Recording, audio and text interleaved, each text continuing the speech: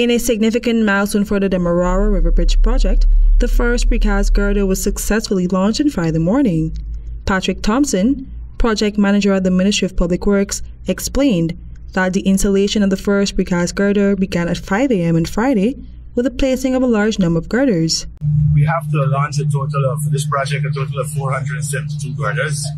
Uh, each set of piers will have eight girders connected to each other.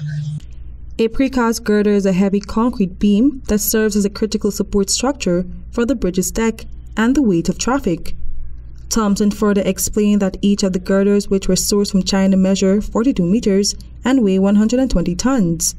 He explained that the process will continue as the first eight girders are installed, with the launcher being moved progressively as the work advances. Once the initial girders are in place, the construction will move towards completing the central span of the bridge. When asked about the progress and the March 2025 completion deadline, Thompson assured the public that the project is on schedule. He noted that significant work is already being completed and the team is confident the timeline will be met.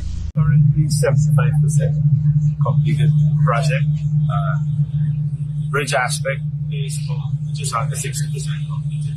Overall project completion is 75%. Meanwhile, Minister of Public Works Juan Edghill told reporters that this is an historic milestone in national infrastructure development.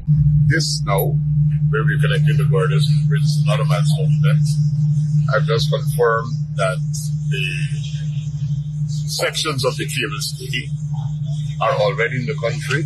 Additionally, the minister, in addressing concerns regarding potential delays, confirmed that any challenges that could have impacted the project's completion date have already been addressed.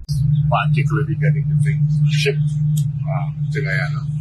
The operation here at the bridge is a 24 hour um, operation. And I would think that in the last several months since we visited the last time and the media was mounted here, progress has been continuous.